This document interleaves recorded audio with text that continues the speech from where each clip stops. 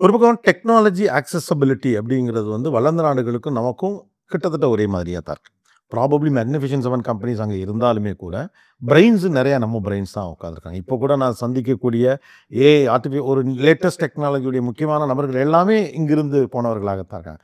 So access to technology அப்படிங்கிறது ஈஸியாக இருக்குது தேவையான அளவுக்கான பொருளாதாரம் மிதமிஞ்சிய பொருளாதாரம் இல்லை தேவையான அளவுக்கான ஒரு பொருளாதாரம் இருக்குது.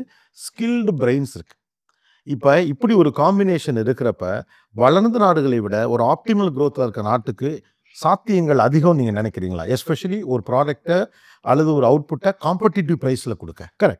In fact I I have this new phrase what is good for India is good for the world நம்ம ஊரில் ஒன்று தயாரித்து அதை நம்ம ஊர் மக்கள் வாங்கக்கூடிய விலையில் நம்ம இங்கேருந்து அதை விற்கிறோம் அப்படின்னா நம்ம வெளிநாட்டுக்காரங்க இங்கேருந்து தாராளமாக வந்துட்டு வாங்கிட்டு வாங்கிட்டு போயிடுவோம் ஓகே நம்ம இப்போ ஆப்போசிட்டில் இருக்கோம். Correct. ஸோ அதனால் we have to actually think about what is ஏன்னா India is actually the largest market in the free world இங்கே இருக்கக்கூடிய மிடில் கிளாஸ் மக்களை பார்த்தீங்கன்னா யூரோப் அண்ட் யூஎஸ் கம்பைன்டு இந்த மாதிரியான ஒரு வலிமை இந்தியாவுக்கு வேற எப்போவுமே நடந்தது கிடையாது இருந்தது கிடையாது. அதை நம்ம எப்படி நம்ம உபயோகப்படுத்திக்கிறது அப்படின்னு கேட்டிங்கன்னா இங்கேயே தயாரித்து இங்கே இருக்கக்கூடிய மக்களுக்கான இந்த பர்ச்சேசிங் பவருக்குள்ளே நம்ம அந்த அதை அந்த எக்கனாமிக்ஸை நம்ம ஒர்க் அவுட் பண்ணிட்டோம் அப்படின்னு வச்சுக்கோங்க. இது வந்து it will be extremely competitive in the rest of the world so இங்கேருந்து நம்ம டெவலப்மெண்ட் இன்க்ரீஸ் இன்க்ரீஸ் பண்ணோம் அப்படின்னா நம்மளும் சார்ந்து தான் அவனுடைய டெவலப்மெண்ட்டே இன்க்ரீஸ் ஆகும். ஸோ அப்போ வந்து நம்ம கரெக்டான இந்த சுச்சுவேஷன் இப்போ இப்போ லெஸ் நம்ம வந்து ஒரு ரிச் கண்ட்ரி ஆகிட்டோம்னு வச்சுக்கோங்க. எல்லாமே காஸ்ட்லி ஆகிடுவாங்க அப்போ வந்து நம்மளால் அவ்வளோ டெவலப்மெண்ட் காமிக்க முடியாது.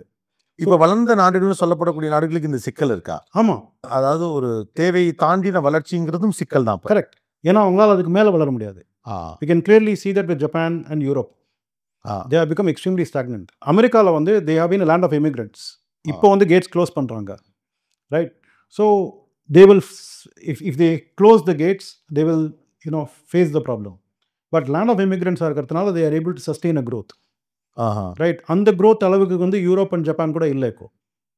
இப்போ நம்ம வந்து India overtook Japan last year as a you know from fifth largest fourth largest எக்கானமியாக வந்ததுக்கு. காரணம் ஜப்பான் இஸ் ஸ்டாக்னேட்டிங் நம்ம வந்து ஓரளவுக்கு ஃபாஸ்ட்டாக க்ரோ ஆகிட்ருக்கோம் இல்லைன்னு சொல்லலை அவ்வளோ ஒன்றும் ஃபாஸ்ட்னு சொல்ல முடியாது சைனா க்ரோ ஆன அளவுக்கு நம்ம க்ரோ ஆகலை இருந்தாலும் ஜப்பான் ரொம்ப ஸ்டாக்னெண்ட்டாக இருக்கிறதுனால we are able to overtake இப்போ அடுத்தது அடுத்த வருஷம் ஜெர்மனியை நம்ம ஓவர்டேக் பண்ணுவோம் we will become third largest in absolute dollar terms not even purchase power term purchasing power priority we are already third okay right so we have to understand where we are and what we are doing and one more point i would like to say எல்லாமே வந்து இந்தியாவில் யாரெல்லாம் தங்கியிருக்காங்களோ அவங்களுடைய உழைப்பினால தான் நடந்திருக்கு. வெளியில் வெளிநாட்டுக்கு போனவங்களால நடக்கலை. ஸோ இது வந்து வெளிநாட்டுக்கு போனவங்களால இங்க இந்தியா உருப்படணும்னு அவசியமே கிடையாது. இந்தியாவில் இருக்கிறவங்க இந்தியாவை உருப்பிட்ட வச்சு இவ்வளோ தூரம் வந்திருக்கோம் இன்னும் போயிட்டே இருக்கோம் நம்ம.